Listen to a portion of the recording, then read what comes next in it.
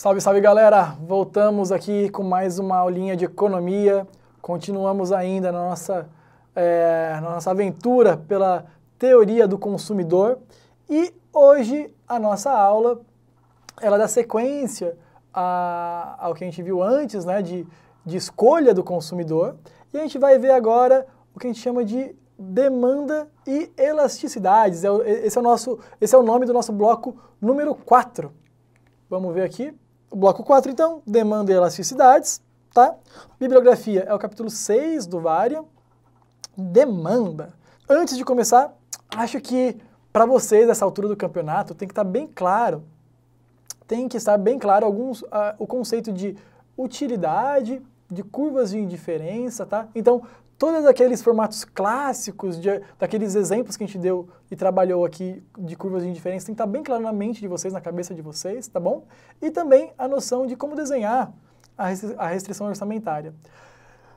Isso, estando bem claro, vai ficar muito fácil, muito mais fácil para vocês compreenderem a aula de hoje. A aula de hoje é bastante, a gente vai utilizar, utilizar muitos gráficos para entender diversos conceitos, tá bom? é, vários deslocamentos de curva e tudo mais, que vão dar, uh, vão dar sentido aos conceitos que a gente vai aprender hoje, tá bom? Então, a nossa aula de hoje é basicamente gráfica, tá bom? Vocês vão ver que tem pouquíssimas anotações uh, que eu fiz, é basicamente, então, uh, pegar o gráfico e ver algumas derivações e tentar compreender o que significam essas essas modificações, o que significam os conceitos a partir dessas mudanças gráficas, tá bem? Então vamos lá. É, o, os primeiros conceitos que eu quero, que, que eu quero apresentar para vocês é, são os conceitos de bens normais e bens inferiores, tá bem? O que é um bem normal? Vamos lá. O que é um bem normal? O bem normal é aquele em que eu aumento a renda e o consumo desse bem aumenta. É um bem normal. Simples, né? Então, nesse caso aqui, como eu falei para vocês, a gente tem bastante, a gente tem bastantes gráficos, né? Muitos gráficos. O que, que eu fiz aqui? Eu apenas desloquei, eu não, né? O Varian. Ele apenas deslocou a restrição orçamentária, tá? Então, antes a gente consumia nesse cara aqui, agora a gente consome nesse cara aqui. A restrição orçamentária plup, aumentou, aumentei a renda, deslocou a restrição orçamentária. E o que aconteceu com, com o consumo de X1? Vejam só vocês. O consumo de X1 aumentou, tá? É justamente isso que a gente colocou aqui. Quanto muda o consumo de X1 quando eu aumento, aumento a renda? Esse cara é maior do que zero. Perfeito? Muito bem. Então a gente viu a ideia do que é um bem normal. Agora vamos pensar uh, no caso em que o deslocamento da restrição orçamentária, o aumento da renda, nesse caso, é, diminui o consumo de um bem, tá? Nossa, professor, mas existe isso? Existe esse caso em que a gente aumenta a renda do consumidor e o, cons e o consumo de um bem diminui? Existe. Vamos pensar, por exemplo, no consumo de, sei lá, uma família pobre que consome salsicha, tá? Porque não tem renda suficiente para comprar outros tipos de coisa, tá bom? Então, uh, se eu aumentar a renda dessa família, provavelmente o consumo de salsicha deve diminuir. Tá bem? Então, nesse caso, a salsicha, ela é um bem inferior. Graficamente aqui, nós temos isso, olha. A gente tinha esse consumo aqui antes de, do bem 1, houve um deslocamento da restrição orçamentária porque a gente aumentou a renda, tá certo? E o que acontece com o consumo do bem 1? Ele diminui. Perfeito? Então, essa é a definição de bens inferiores. É são aqueles em que um aumento de renda diminui o consumo. Tá? Agora a gente vai tentar entender a, a, a ideia de curvas de renda-consumo e curvas de Engel. Tá certo? Uh, o que é a curva de renda-consumo? Vamos pensar então que a gente vai aumentando a renda do consumidor, tá? E vai vendo quais são as escolhas ótimas do consumidor ao longo das curvas de indiferença. Quando a gente vai ligando todos os pontos, a gente então, a gente, ao ligar todos os pontos de escolha ótima, a gente então acaba por encontrar essa, essa a chamada curva de renda-consumo. É justamente isso daqui. A gente foi deslocando a restrição orçamentária e vendo quais são os pontos de escolha do consumidor ao longo do mapa de curvas de diferença, tá bem? Se a gente colocar num gráfico renda e o consumo de X1, aqui no caso, tá? É, a gente tem o que a gente chama de curva de Engel. A curva de Engel nada mais é do que uma outra perspectiva da curva de renda-consumo.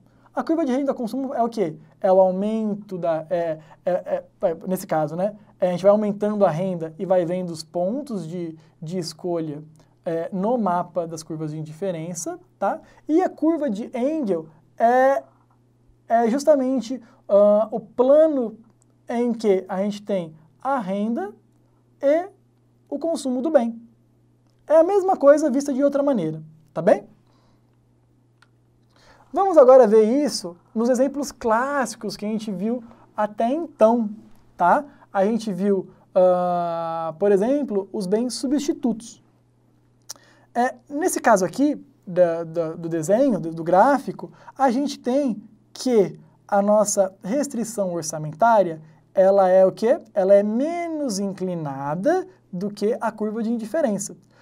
A gente viu no, no bloco anterior que uh, nas aulas anteriores, não me lembro agora, que se a curva, se a restrição orçamentária for menos, for menos inclinada do que a curva de indiferença, o consumidor ele vai consumir sempre o quê? Na fronteira, né? Vai, consumir, vai consumir sempre x1, tudo de x1 e não vai consumir nada de x2, tá certo? Então, à medida que eu vou deslocando a restrição orçamentária, eu vou tendo esses pontos de escolha ótima. Essa é a nossa curva de renda-consumo, tá? E se a gente colocar isso num gráfico em que no eixo Y a gente tem a renda e no eixo, no eixo X, né, o bem 1, a quantidade do bem 1, a gente tem a representação da curva de Engel, tá certo? Professor, eu tenho que saber memorizar todos esses caras, eu tenho que saber tudo isso de cor, nananã. Gente, tentem entender a ideia e uh, o formato das curvas de indiferença. Que daí, se por acaso alguma coisa do tipo cair, vocês vão conseguir na hora ali, uh, conseguir, vocês vão conseguir derivar essas coisas, tá bem? É, é simples entender. A curva de renda-consumo, então, é o quê?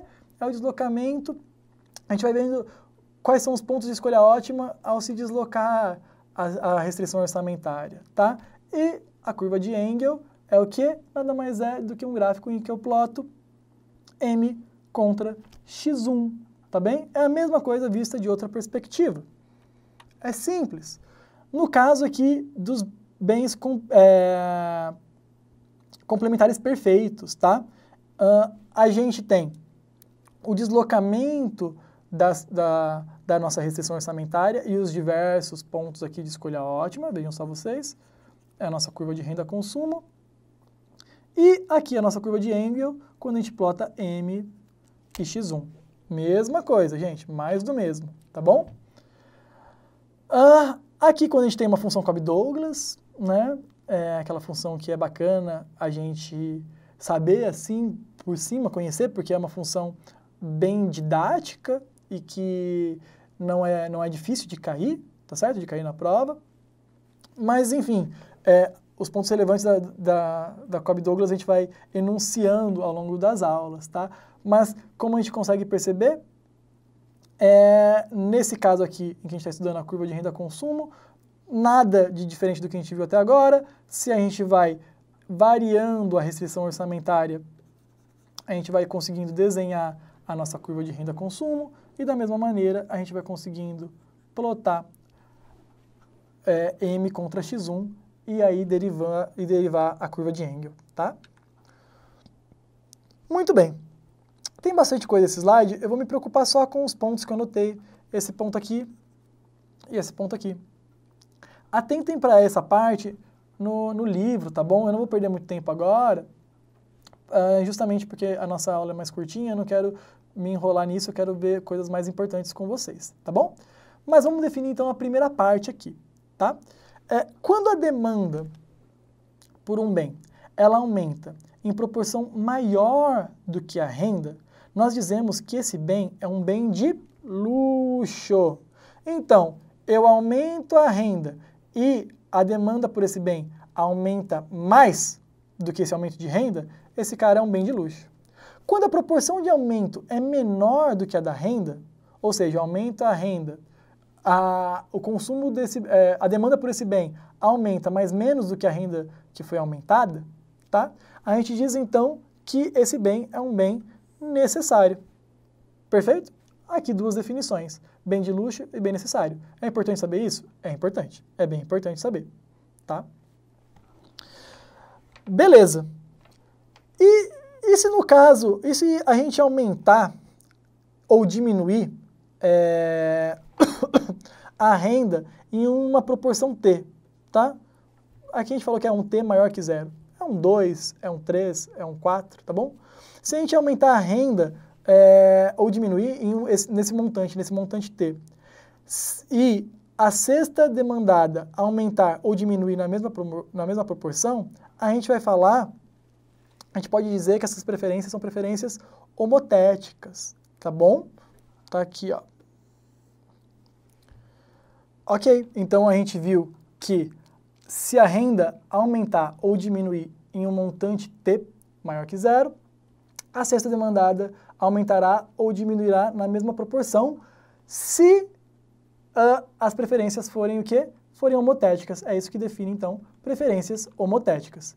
Muito bem, aqui a gente tem uh, um exemplo dessa, da curva de renda-consumo e da curva de Engel nesse caso, muito, muito semelhante ao que a gente já tinha visto antes.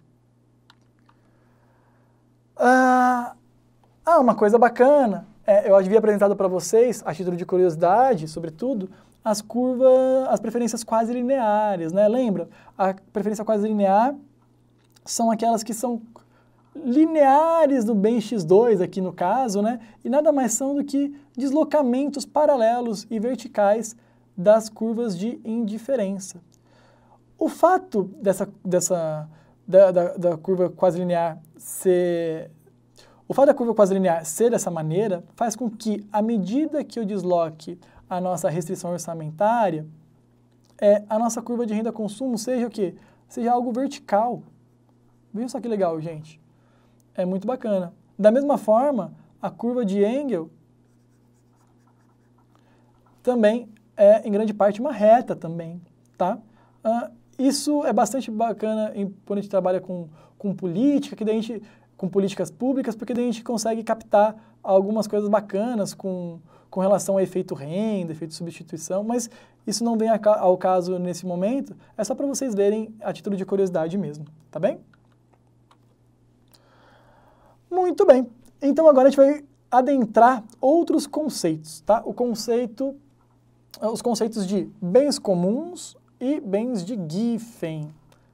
Muito bem, a gente viu até agora mudanças na restrição orçamentária quando a renda varia. A gente vai começar a ver agora ah, mudanças na restrição orçamentária quando o preço varia, tá bem? É, então, no começo, a nossa escolha ótima é esse cara aqui, vamos supor que essa seja a nossa restrição orçamentária e aqui seja a escolha ótima, tá bem? E daí, o que acontece? A gente tem uma queda no preço do bem 1, tá bom? Como a gente sabe e já viu nas primeiras aulas, quando o preço do bem 1 cai, o que acontece com a, com a restrição orçamentária? Opa, ela fica menos inclinada, tá certo? Existe esse quê? Esse, essa queda do preço faz com que, nossa, essa queda no preço faz com que a restrição orçamentária ela, ela gire, tá? Com isso, a gente consegue atingir uma nova curva de indiferença, né, um pouquinho mais distante, nesse caso, e essa curva de indiferença proporciona um maior consumo do bem 1, tá bem? Então, um bem comum, vejam só como os economistas são criativos, uh, nada mais é do que uh, o bem uh, no qual uma diminuição do seu preço provoca o aumento de seu consumo. Simples entender, tá certo? Não tão simples assim é o que a gente chama de bem de Giffen. O que é um bem de Giffen? Vejam só, é, suponha nesse exemplo aqui novamente que a gente esteja nesse ponto e a gente consuma essa quantidade do bem 1. Perfeito? Vamos fazer de conta que o preço do bem 1 ele tenha caído. Tá? Então, houve uma, uma diminuição perdão, do preço do bem 1 e a restrição orçamentária girou e ficou menos inclinada. Tá bem? Tá aqui. Nesse caso, o que, que vai acontecer? Vejam só vocês. O consumo do bem 1 caiu, ficou menor. Então, é a diminuição do preço do bem 1 fez com que o consumo do bem 1 fosse menor. É meio estranho isso, né? A ideia por trás, gente, é que uh, essa diminuição do preço do bem 1 vai fazer com que o consumidor tenha mais renda disponível. O fato dele ter mais renda disponível pode fazer com que ele queira consumir outros bens que não o bem 1, tá bem? Nesse sentido, é, o que acontece é, uh, eu diminuo o preço do bem 1, o consumidor ele vai ter um maior renda disponível e ele vai diminuir, portanto, o consumo desse bem 1 por, e vai substituir isso por outros bens, por exemplo. Tá certo? Então, isso define o que a gente chama de bem de Giffen, tá? Então memorizem, bem de Giffen é aquele em que a diminuição do seu preço faz com que, uh, se, faz com que o consumidor consuma menos desse bem, tá bom? Então, bem comum, diminui o preço, consome mais, bem de Giffen, diminui o preço, consome, consome menos, beleza? É, mais alguns conceitos, é, a gente vai definir agora o que, que a gente pode considerar de curvas de preço-consumo e curva de demanda. Antes a gente tinha visto variações da renda, tá? E, e como isso impactava e como isso é, gerava, uh, aqui, né? Vamos voltar, as curvas de renda-consumo e também a curva, as curvas de Engel. De maneira muito semelhante, agora a gente vai ter como a, a curva de preço consumo e a curva de demanda, em que a gente vai atentar para variações no preço, tá bem? Então, a curva de preço consumo é, é uma, são as curvas né, que a gente é, observa ao variar o preço e ligar, ao variar o preço e ligar uh, os diferentes pontos de escolha ótima do consumidor, perfeito? Então, a gente vai variando o preço e vai vendo os, o, os pontos de escolha ótima, ao ligar esses pontos, a gente tem a nossa curva de preço-consumo. Tá bem? De outra perspectiva, se a gente fizer um gráfico de preço e quantidade, a gente consegue desenhar então, gente, a nossa famosa, querida e idolatrada, quem? Curva de demanda. Tá bem? Então, a curva de demanda nada mais é do que uma outra maneira de se enxergar a curva preço-consumo. Perfeito? Então, beleza, gente. Então, agora a gente vai começar a ver as curvas de preço-consumo e a curva de demanda para os exemplos clássicos que a gente viu até então, tá bom? No primeiro momento, a gente vai ver agora com os bens substitutos perfeitos, tá certo? Então, à medida que a gente vai girando a nossa restrição, a nossa restrição orçamentária, a gente consegue é, desenhar a nossa curva de preço-consumo, tá bem? E também a gente consegue desenhar a nossa curva de demanda. Eu vou me ater mais detalhadamente nossa curva de demanda, porque é, eu acho que é bastante importante ter clara uh, essa ideia, tá bom? Então, é, deixa eu apagar aqui. Uh, a gente sabe que se a restrição orçamentária ela é mais inclinada do que a curva de indiferença, o que, que vai acontecer com o consumo do bem 1?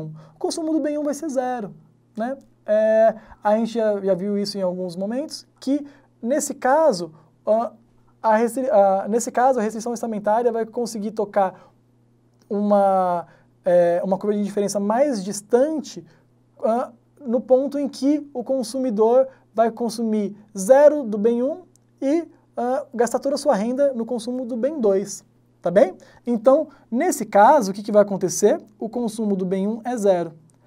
E vai ser zero até o ponto, é, eu estou abaixando o preço, né? E esse, o consumo do bem 1 ele vai ser zero até o ponto em que uh, até o ponto em que a inclinação da restrição orçamentária for igual à inclinação da curva de indiferença, tá? Nesse ponto, o que, que vai acontecer? Nesse ponto, o consumidor ele vai ser indiferente entre consumir zero do bem 1 um, ou gastar todo o seu dinheiro com o bem 1, um, tá bem? É justamente porque eu estou em cima da curva de indiferença que o consumidor ele pode ou escolher zero do bem 1 ou escolher gastar tudo com o bem 1, tá? Lembrando que os, que os bens são substitutos perfeitos, tá bem? Então, qualquer combinação aí vai ser uma escolha ótima para o consumidor, tá bem? E o que acontece então se a gente continuar diminuindo o preço? Se a gente continuar diminu diminuindo o preço, a minha restrição orçamentária vai ficar cada vez menos inclinada. E à medida que a, que a restrição orçamentária fica menos inclinada, eu vou consumindo cada vez mais de quem? Cada vez mais, de quem não, do que, né, gente? Cada vez mais do bem 1, tá bem? E com isso a gente consegue desenhar a nossa curva de demanda, tá bem? Não é algo tão trivial no primeiro momento, mas também não é algo tão difícil se a gente for pensando com, com calma, tá? Uh, pode cair isso, Rodolfo? É, acho difícil cair dessa maneira, tá? Mas essa noção de inclinação do, uh, das, da restrição orçamentária e impacto no consumo de bens substitutos perfeitos é muito importante ter na cabeça. Tá bom, gente?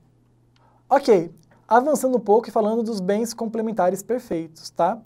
a gente não tem nada de especial, é só a gente imaginar é, a, a, diminuição do preço aí o e a, o giro da restrição orçamentária e como que fica o desenho, tá certo? Das curvas, da curva de preço-consumo.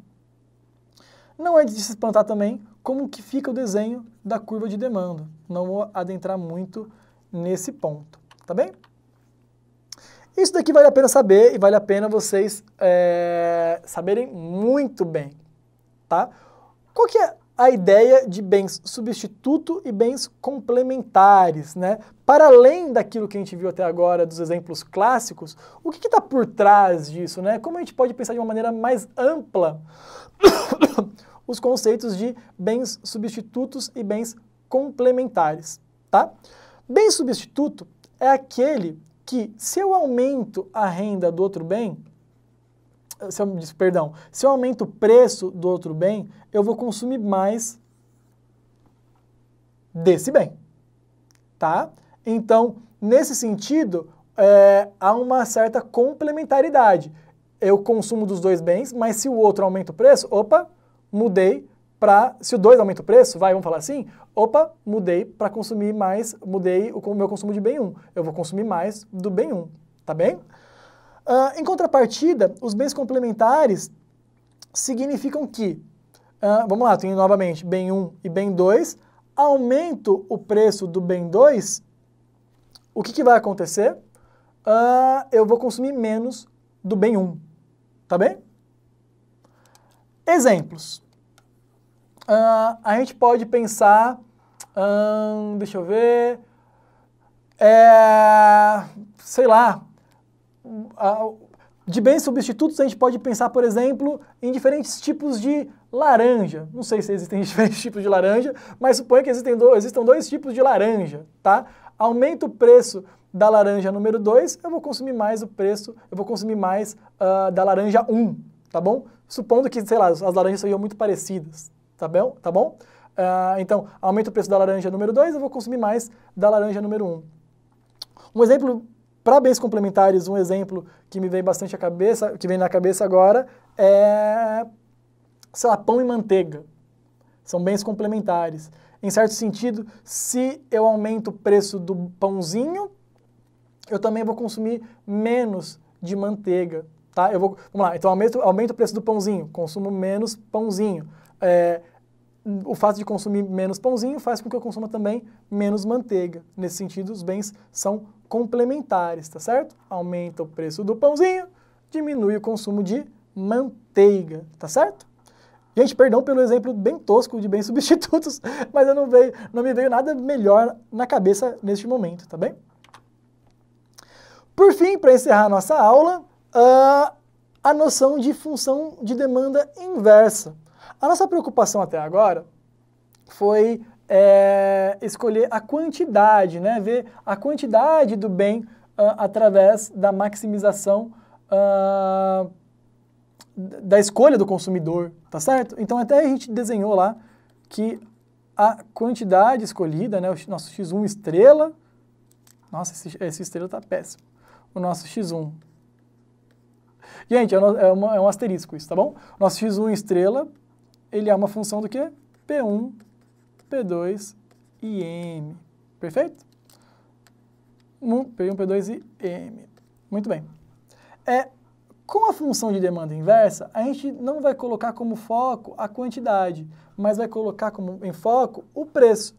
Então, quando a gente pensa o preço é, isolado, tá? E olha uh, o preço como uma função da quantidade, a gente está pensando na, na, demanda sob um outro ponto de vista. É a mesma coisa? É a mesma coisa, Rodolfo? Sim, gente, é a mesma coisa. Eu só estou olhando a demanda agora do ponto de vista uh, principalmente dos preços, tá bom? Então eu coloco o preço em função da quantidade. E isso define a, a, o que a gente chama aqui de demanda inversa, tá bem?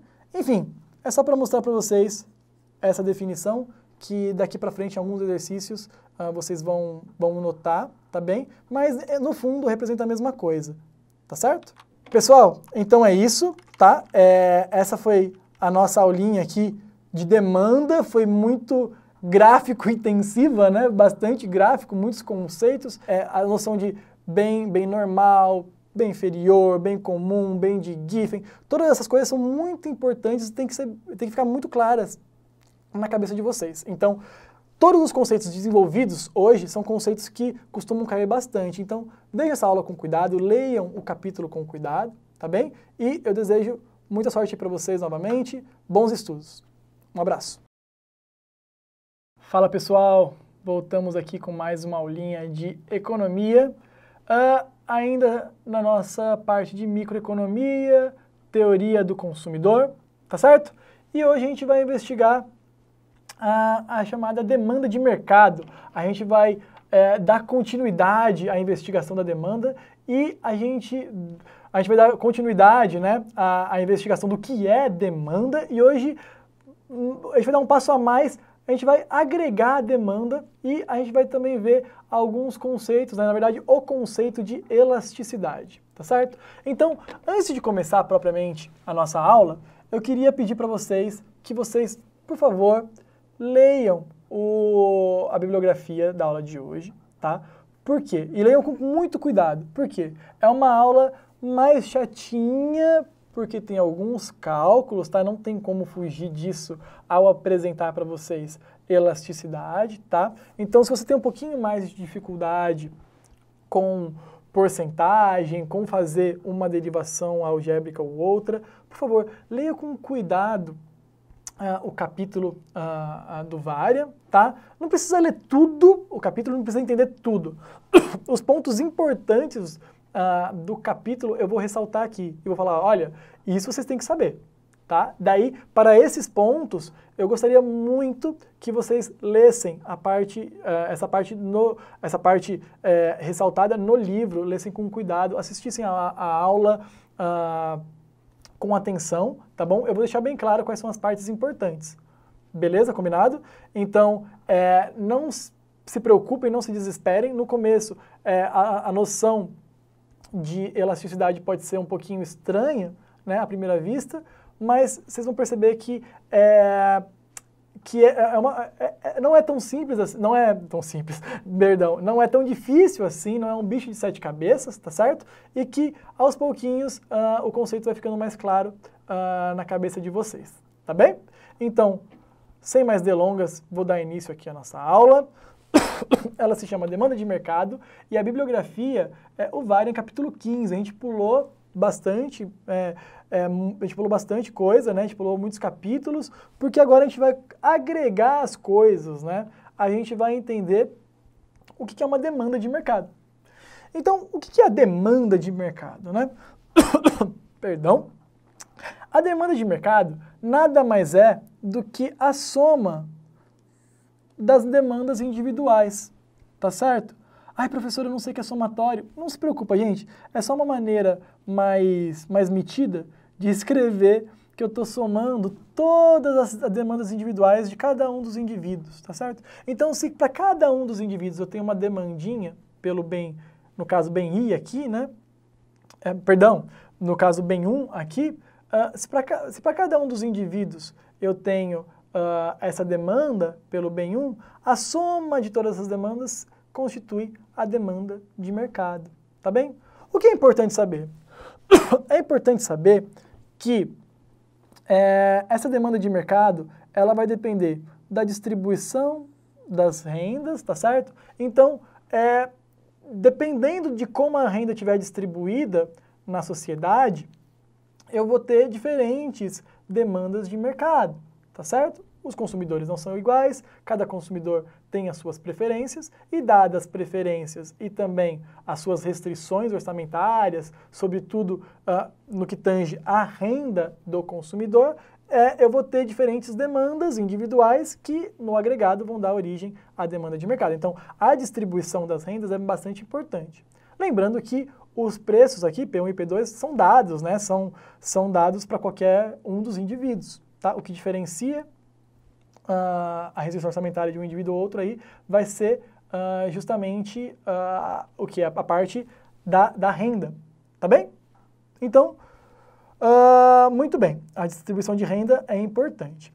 Além disso, acho que fica mais fácil a gente pensar em um consumidor representativo tá certo? Quando a gente agrega a demanda, as demandas individuais em uma demanda de mercado, é, vale a pena a gente pensar como se a gente tivesse agora um consumidor representativo, tá certo? Que tem a sua grande demanda, tá bom? Acho que essa é uma, essa é uma abstração legal da gente ter e que facilita bastante os trabalhos daqui para frente, perfeito?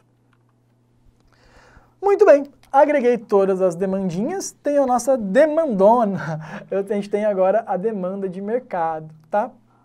É, vejam vocês que essa demanda nada mais é do que, uh, como a gente tinha visto antes, é, a plotagem é, no, no, a plotagem né, gráfica em eixos de preço e quantidade, tá certo? E a gente tem movimentos dessa demanda, tá? A gente tem, quando o preço vai diminuindo, por exemplo, a gente está andando ao longo da demanda, tá certo? Além disso, a gente vai ver em outras aulas como essa demanda ela pode se deslocar para cima e para baixo. Então a gente tem movi o que a gente vai perceber em outras aulas é que é importante a gente diferenciar movimento ao longo da curva de demanda e movimentos da curva de demanda, tá certo? Para cima ou para baixo, tá bom? Mas isso são cenas dos próximos capítulos, perfeito? Muito bem. Desenhada a curva de demanda, do, da, a curva de demanda do mercado, é, a nossa preocupação daqui para frente até o final da aula vai, vai, vai ser sobre uh, o que a gente chama de elasticidade. Tá? O que, que é a, é a, a elasticidade? Vamos lá. É, antes de entrar no conceito propriamente, propriamente dito de elasticidade, vamos supor que a gente queira saber o quanto a quantidade demandada muda se eu mudar os preços. Justamente isso daqui. Tá? A inclinação, é, quer dizer, essa, é, é, essa expressão, essa razão é uma razão bacana da gente saber? Sim, a inclinação da curva de demanda é bacana da gente saber e, e, e nos dá, assim, a ideia de sensibilidade. No entanto, dependendo da unidade que a gente está medindo as coisas, pode ficar meio confuso a gente conseguir comparar, pode ficar meio confuso a comparação né, de, de diversas coisas, tá certo? Então, é, a inclinação puramente da, da, da curva de demanda, ela pode ser bastante sensível à unidade em que, em que a gente está medindo. Para combater esse problema, é, o que os economistas gostam de utilizar é a ideia, agora sim, do conceito de a ideia do conceito de elasticidade. No caso aqui, o que a gente vai estudar primeiro é a elasticidade preço da demanda, tá? O que, que é a elasticidade preço da demanda? A elasticidade preço da demanda nada mais é do que a variação percentual da quantidade sobre a variação percentual dos preços. A pergunta que a gente quer responder é: uh, se eu aumentar em tantos por cento o preço de um bem, em quantos por cento diminuirá a minha demanda? É basicamente isso. A elasticidade nos dá essa resposta, tá certo? É, então, nada mais é do que uma razão entre porcentagens, tá? Em que a gente vai tentar ver, vai tentar analisar a sensibilidade, sensibilidade, opa, sensibilidade. A gente vai ver a sensibilidade, tentar analisar a sensibilidade da quantidade em relação aos preços. E isso feito através de razões, uh, de razão de porcentagens. Tá certo? Muito bem. Esse cara aqui pode ser reescrito dessa maneira aqui, olha. Vejam vocês, é aquela regrinha básica. Copia o primeiro e multiplica pelo inverso do segundo, tá certo? Tá aqui, ó. Então, a elasticidade que eu vou usar daqui para frente, tá? E que eu gostaria que vocês usassem, nada mais é do que uh, P sobre Q, delta Q sobre delta P. Gente, simples assim, tá? Ah, só antes de continuar, se vocês estão com um pouquinho de, de dificuldade nessa parte de porcentagem, tentem lembrar uh, os estudos de, enfim, de porcentagem mesmo, façam alguns exercícios antes, tá bom? Porque é bastante importante, tá certo? Muito bem. É, o que, que é, o que, que é bacana ressaltar, tá? Que a utilidade, ela é uma medida não da curva inteira, mas a utilidade, ela é uma medida no ponto. O que isso quer dizer, tá bem? É, percebam vocês que eu quero saber, a pergunta, o que eu falei para vocês, né? Que a, a, a, nossa, gente, eu falei utilidade, é elasticidade, eu não sei onde eu tô com a cabeça, mas é elasticidade, tá bom?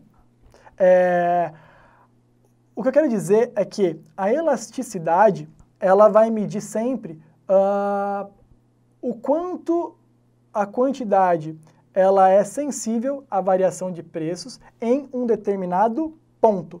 Isso é bem, é bem importante ser ressaltado, porque existem muitos exercícios que uh, querem confundir os alunos tomando a curva de demanda como um todo e, e falando, tentando generalizar a, a, elasticidade como se fosse uh, algo comum para todos os pontos da curva, tá bom? Isso não é verdade, tá? A elasticidade deve ser entendida como algo pontual, algo como um ponto, é, a elasticidade de um ponto na curva de demanda, tá bem? Uh, ah, Para exemplificar isso, eu coloquei aqui uma curva de demanda linear, tá? De maneira genérica, eu chamei essa curva de demanda, quer dizer, eu posso descrever essa curva de demanda de Q igual a A menos BP. Enfim, não se preocupem tanto com isso mas se preocupem mais com a ideia. Vejam só, a gente tem aqui então uma curva de demanda linear, que é uma reta, tá bem? E vejam só,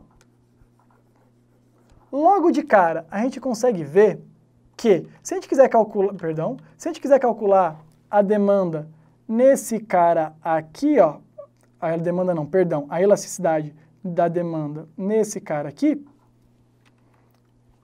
sendo mais rigoroso ainda, a elasticidade de preço da demanda. Nesse cara aqui, o que acontece? A gente tem que a quantidade é igual a zero, tá certo? Neste ponto, a gente tem esse preço e quantidade igual a zero, tá certo? Se a quantidade é igual a zero, o que, que vai acontecer com a nossa elasticidade? Sem se preocupar muito com as outras partes da, da os outros componentes que fazem a elasticidade, tá? Só se preocupando aqui com que, se Q é igual a zero, a nossa elasticidade, gente, vai lá para o infinito. Tá certo? Ela vai lá para o infinito. É justamente o que a gente observa aqui. No entanto, é, para uma mesma curva de demanda, a gente pode ter uma elasticidade, por exemplo, em que nesse ponto ela vai, ela é igual a zero. Por quê? Neste ponto aqui, o que acontece? O preço é igual a zero e a quantidade é igual a esse ponto aqui. Vamos lá? Preço igual a zero e quantidade diferente de zero. Se eu tenho algo multiplicando zero, o que, que vai ser? O que, que vai acontecer? A nossa elasticidade também vai ser igual a zero. Então, o que, que é importante ressaltar aqui desse gráfico é, não é essa forma da, da, curva de demanda linear, tá certo? Não é essa parte aqui, não, não, acho que nem, a gente nem precisa adentrar muito isso. Mas é só para mostrar para vocês que para uma mesma curva de demanda, dependendo do ponto, eu posso ter é, elasticidades completamente diferentes. Eu posso ter elasticidade sendo zero ou posso ter uma elasticidade, por exemplo, sendo infinito, tá bom? Então, ressaltando, elasticidade é definida no ponto tá? Elasticidade deve ser pensada na sensibilidade uh, da quantidade em relação ao preço, dado que eu estou em um determinado ponto, tá certo? Muito bem. É, outras coisas importantes de se destacar, tá? Se tiver um bem, uh, se um bem tiver uma elasticidade da demanda maior do que 1 em valor absoluto, a gente pode dizer que esse bem tem uma demanda elástica, tá? O que isso, o que isso significa, Rodolfo? Significa que uh, se eu aumento o preço um pouquinho, a diminuição da quantidade vai ser maior do que esse pouquinho que eu aumentei o preço, tá certo? Nesse sentido, é muito sensível, tá? A quantidade, a, a quantidade demandada é muito sensível à variação de preço. E por isso a gente fala que é uma demanda elástica, tá?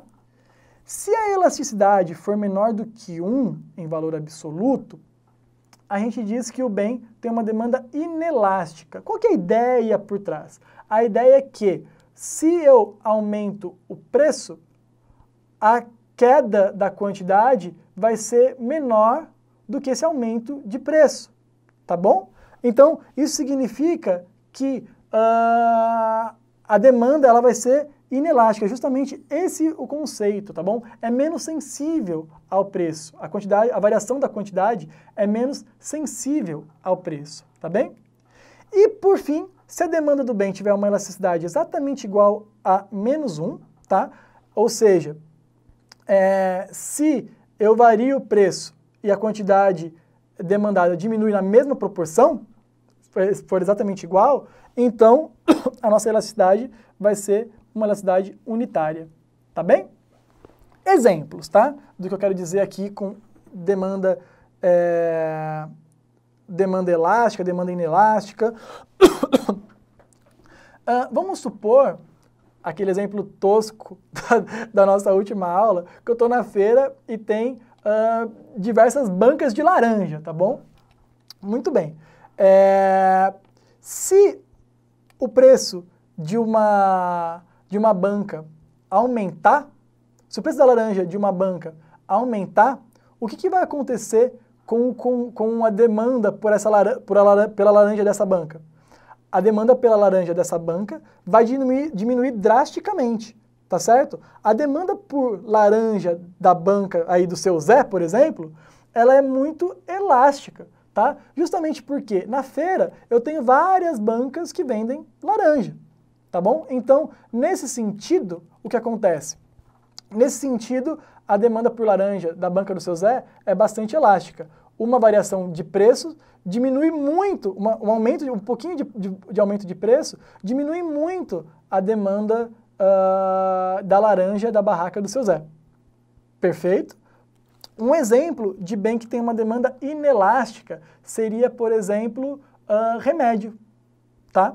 Então, uh, pessoas que são cardiopatas, por exemplo, que não podem ficar sem remédio. Por mais que eu aumente o preço, tá? A quantidade demandada não vai diminuir muito para alguns remédios, tá? No caso dessas pessoas, por quê? Porque a pessoa tem que consumir aquele remédio, tá? Porque senão ela morre. Então, é, nesse sentido, a demanda é mais inelástica, tá bem? Nossa, Rodolfo, agora já era. Agora eu desisti de economia de vez, vou começar a estudar história, porque isso é muito difícil, não quero nem olhar esse slide. É, pessoal, vamos com calma, tá? É, eu não quero que vocês saibam tudo que tem nesse slide, óbvio que não. Eu quero mais mostrar a intuição por trás disso. Por quê? A intuição por trás disso, sim, pode cair na prova. Não necessariamente essas contas, tá certo? É, o que, que eu quero mostrar aqui para vocês nesse slide, tá certo? É, o que, que, é a receita? Já, agora vou mudar um pouquinho de foco do consumidor e já começar a falar um pouquinho mais de teoria da firma, de firmas, de empresas, tá certo? É, o que, que a, a, gente pode considerar como receita? Né? A gente pode pensar que a receita de uma firma nada mais é do que o preço vezes a quantidade, tá certo? Muito bem. Agora a pergunta que eu faço é, se preço e quantidade variarem, a receita dessa firma aumenta ou diminui? Vamos lá. Se o preço, por exemplo, aumentar, por um lado, a, a firma aumenta a receita. No entanto, o aumento de preço faz com que os consumidores consumam menos. Tá certo? E, o que faz, o que diminui a, a receita. Qual efeito vai, vai ser importante aí? O que, que vai preponderar? Vamos tentar enxergar isso um pouquinho? Primeiro, a gente então tem a nossa receita aqui, tá? Bonitona que eu acabei de definir para vocês. E vamos supor que a gente varie um pouquinho o preço, aumente um pouquinho o preço, por exemplo, e varie um pouquinho a quantidade, tá certo? Então eu tenho P anterior mais um pouquinho de P, delta P, e Q mais um pouquinho de Q, delta Q, tá certo? Gente, aqui eu fiz a distributiva. Nada além disso, tá certo? Coisa simples lá do ensino médio, lá até do ensino fundamental, tá bem? Uh, depois, o que que, o que que a gente faz, né, para a gente continuar na nossa derivação? A gente simplesmente subtrai o nosso R' e de R, tá certo? Então, esse cara aqui, ó, esse PQ, some. Tudo bem? O que, que sobra para a gente? Sobra Q delta P, P delta Q, delta P, delta Q. Tudo bem? O ponto é o seguinte, a gente está pensando que as variações do, no preço, na quantidade, são variações muito pequenininhas. Nesse sentido, se eu estou multiplicando coisas muito pequenininhas, como nesse caso aqui, vamos nem considerar, nem vamos considerar esse cara, tá certo? Vamos nos preocupar com os termos maiores, que de fato podem provocar alguma, alguma perturbação aí na nossa, na nossa receita, tá bom? Que são esses caras aqui. Gente, só isso, nada demais, tá? Eu estou indo aos pouquinhos para que vocês entendam o raciocínio. Perfeito? É, ok. Dito isso, o que, que a gente vai fazer, tá? Vamos dividir os dois lados por ΔP. Por quê? Porque a gente quer saber o quanto a receita muda, o quanto a receita muda quando a gente varia, por exemplo, os preços, tá certo? Então, aqui a gente está tentando, a gente está fazendo a pergunta, qual é a sensibilidade da receita com relação à variação dos preços? Tá bem? Muito bem. Então, é uh, derivar dessa parte aqui, a gente vai aqui para a parte de cima agora, olha. Tá? É a mesma coisa, tá certo? E do lado direito, o que a gente vai fazer agora? A gente vai colocar o que em evidência, tá bem? A fim de se chegar nessa expressão aqui, ó. Eu só, a gente só reescreveu esse cara aqui nesse formato. Só reescreveu, tá bem? Ora, mas vocês conhecem o que está aqui dentro. O que, que é isso daqui? Isso daqui, gente, nada mais é do que o quê? Do que a nossa elasticidade. P sobre Q, delta Q sobre delta P. E dessa maneira, a gente consegue escrever todo esse trambolho ali dessa forma aqui. Ou ainda, de uma maneira mais, mais precisa, ou não, não mais precisa, mas mais metida besta, com o uso de módulo, tá? Que eu acho que vocês sabem, sabem bem utilizar módulo, tá? É... Enfim, o que, que, é importante aqui, com módulo ou sem módulo, tá? O que, que é importante aqui é ressaltar que, dependendo da elasticidade, tá? Dependendo da elasticidade, uh, a receita vai variar de uma maneira ou de outra com relação à variação nos preços, tá bem? Percebam vocês que, por exemplo, se a, a elasticidade aqui for igual a 1, tá? O que, que vai acontecer? Todo esse cara aqui vai ser zero, tá? E a receita não vai variar, tá bom? Então, eu, aumento, eu, eu mudo os preços, por exemplo, mas a receita não muda, tá bem? Os dois efeitos se contrabalanceiam, uh, se contrabalanceiam ou se contrabalançam? Enfim, gente, os dois efeitos se anulam, tá bom? É, e eu, aí eu, nossa, contrabalança ficou feio agora. Achei contrabalanceio, perdão. Depois de, de, tanto tempo aqui falando, a gente até se confunde no português. Mas, enfim, o que eu quero enfatizar aqui é que uh, os dois efeitos vão se anular e a gente vai ter que uma variação no preço não muda é, a receita, tá bom? Não, não, não repercute em variação de receita. Tudo bem? Nossa! Agora eu morro, professor. Agora já era mesmo, eu desisti de economia. Quando eu penso que acabou uma bucha, vem mais outra, não dá. Tá, não dá, acabei de desistir, vou estudar política, porque política eu gosto mais. Calma, gente. De novo, é só para ilustrar a ideia, tá bom? Se aqui a gente viu é, que a elasticidade importa para a receita, tá bom? É, eu gostaria que vocês refletissem, inclusive, sobre é, quando a receita é inelástica, quando a, a, a, elasticidade, quando a demanda é inelástica quando a demanda é elástica, o que acontece com esses caras aqui, tá? Eu quero que vocês reflitam sobre isso. E a partir daí a gente vai ver o que? A influência da elasticidade na receita. Da mesma forma que eu quero que vocês pensem sobre isso, eu quero que vocês pensem também uh, no efeito das elasticidades sobre sobre o que a gente considera uh, como receita marginal, tá bom? O que, é receita marginal, Rodolfo? Vejam só, gente, aqui a gente viu o impacto dos preços na receita, tá certo?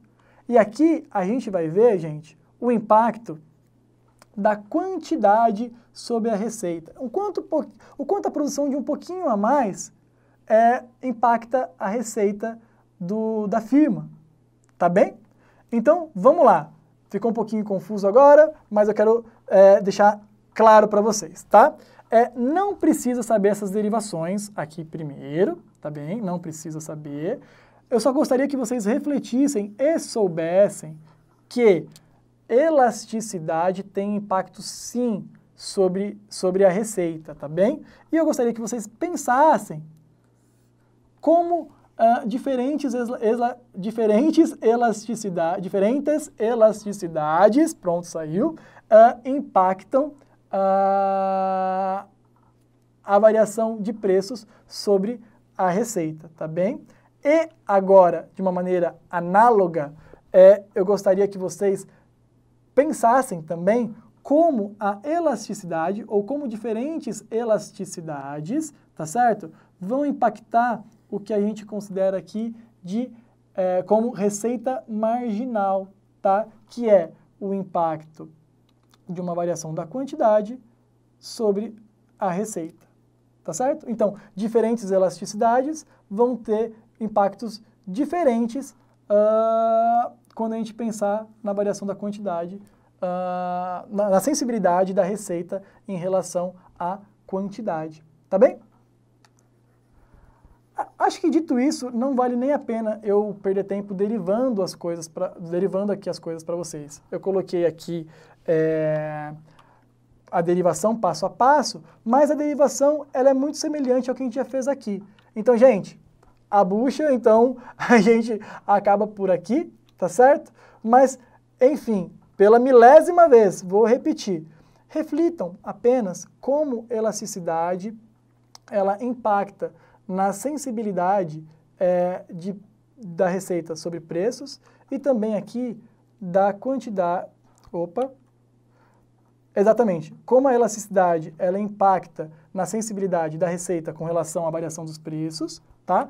E na sensibilidade da receita com relação à variação na quantidade. Tá bem? Substituam os números e vejam o que, que acontece. Perfeito?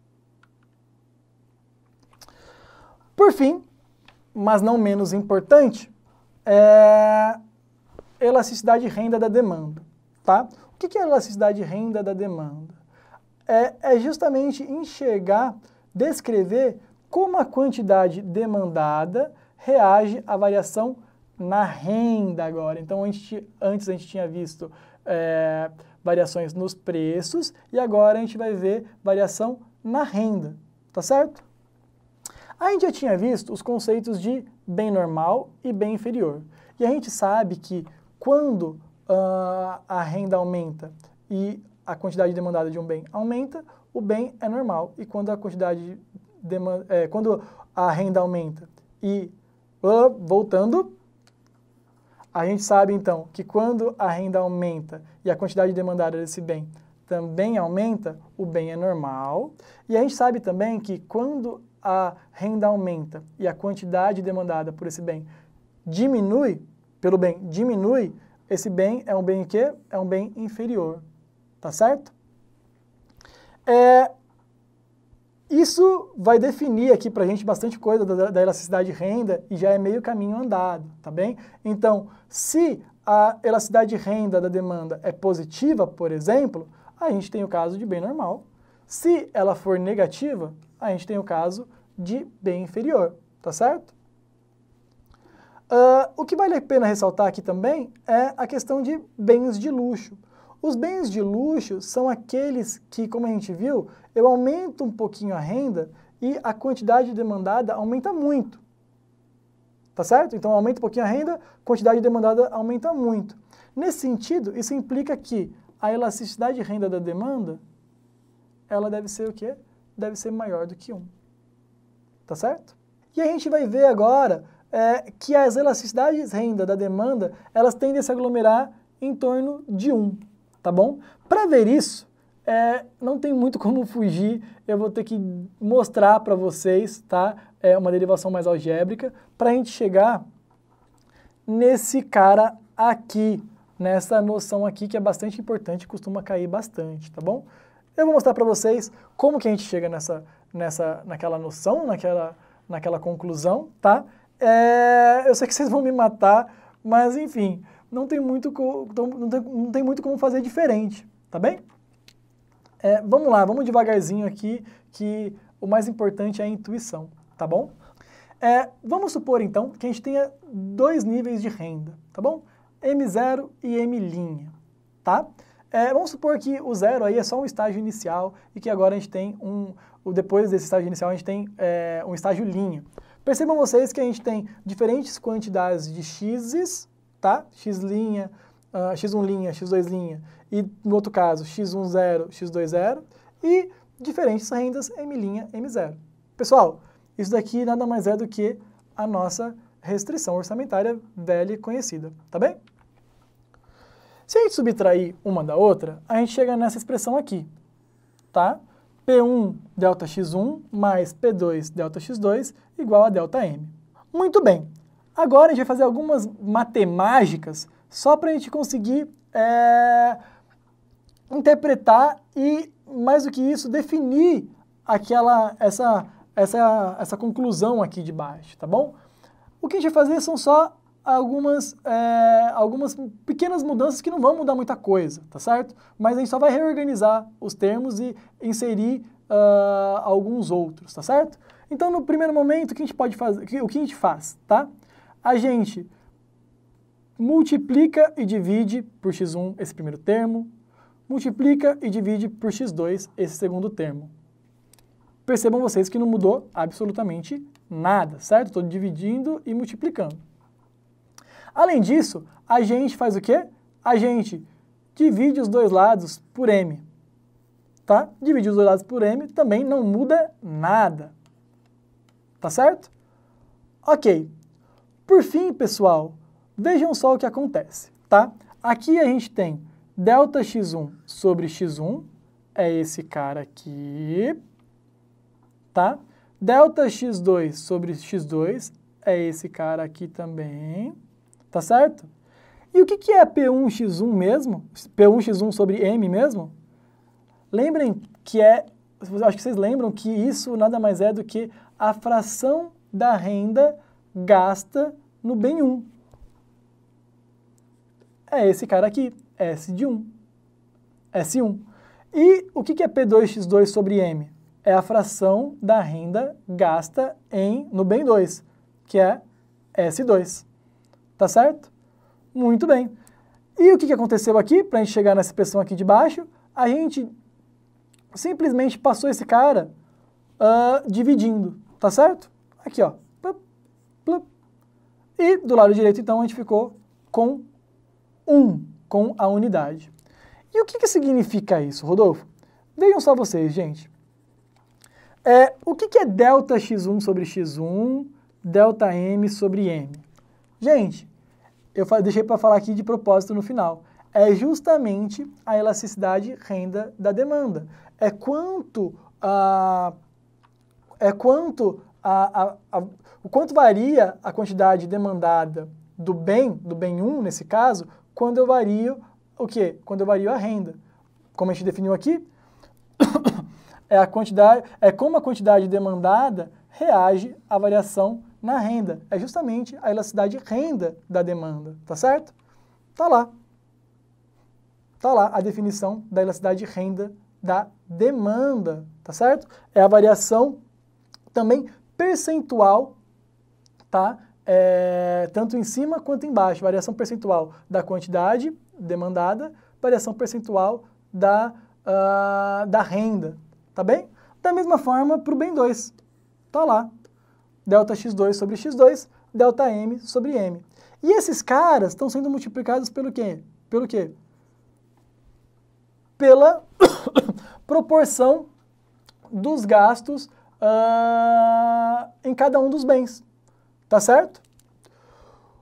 Ok. O que isso nos quer dizer?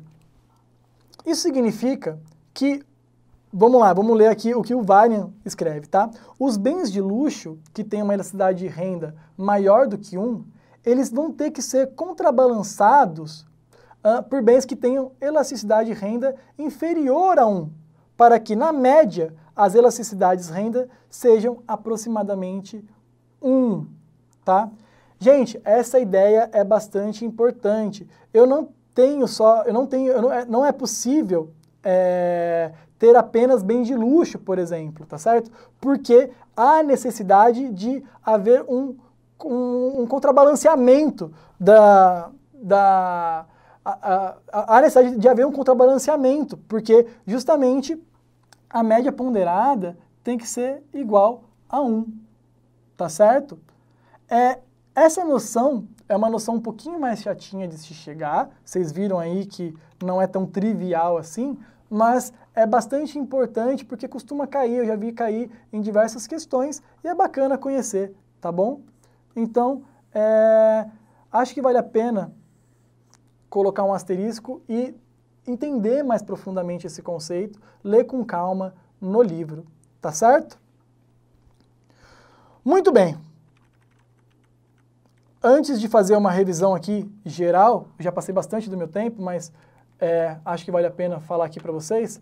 É, antes de fazer uma revisão geral, pessoal, peço muita desculpa para vocês, tá? É, por ter uh, explorado bastante a parte algébrica nessa aula.